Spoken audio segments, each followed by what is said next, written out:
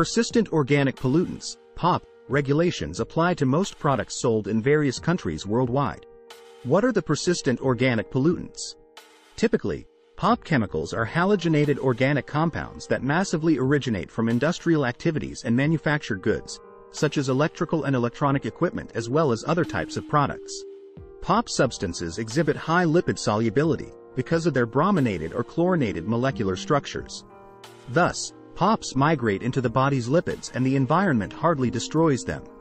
The main concern with the POP chemicals is that they may cause health and environmental issues by impacting the immune, neural, and endocrine systems of humans and animals, and possibly contributing to hormonal disorders, cancer, mutations, birth defects. What does it mean to be POP compliant? Since the Stockholm Convention of 2004, many jurisdictions and markets around the world have regulated several POP substances.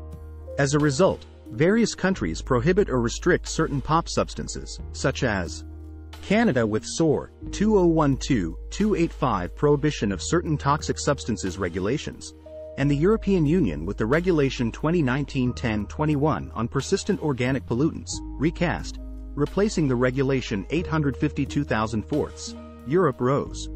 REACH SVHC, and amendments. Examples of heavily restricted POP substances include polybromodiphenyl ethers, PBDE, polybrominated biphenyls, PBB, polychlorinated biphenyls, PCB, Mirex, alkanes C10C13 chloro, pentadecafluorooctanoic acid, PFOA, and its salts and related substances.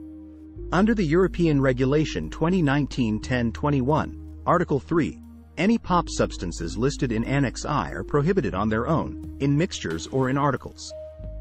However, some exemptions possibly apply, according to Article 4 of that same POP regulation, under certain conditions.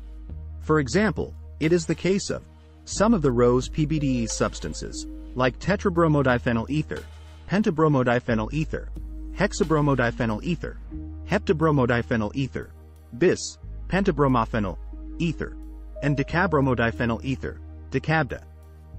PFAS, hexabromocyclododecane and SCCPs. Why should care about persistent organic pollutants in products? Selling products containing POP chemicals above the national permitted limits is prohibited and can jeopardize the image of your company. For example, the European Commission maintains the SafetyGate RAPEX website exposing products and companies failing to comply with POP, but also RoHS, REACH SVHC, and other regulations. Non-compliant products are usually withdrawn from the EU market, and product recalls are common. Persistent organic pollutants the EnviroPass testing approach. As with Europe RoHS, EnviroPass recommends the documentary approach with suppliers and subcontractors for POP testing against legal obligations like the European Regulation 2019-1021 on persistent organic pollutants. By using classic POP, you allow EnviroPass to tackle the documentary assessment of your products, including up-to-date data collection with your suppliers, subcontractors, quality validation of documents and risk analysis, preparation of analysis results and certificates of compliance. In addition to the classic POP services, Deluxe POP gives you the tools to take control over POP compliance. It includes products assessment regarding the POP requirements and delivery of a certificate of compliance. Training in products auditing allows you to conduct future analysis and update your declarations of conformity, DOC, yourself.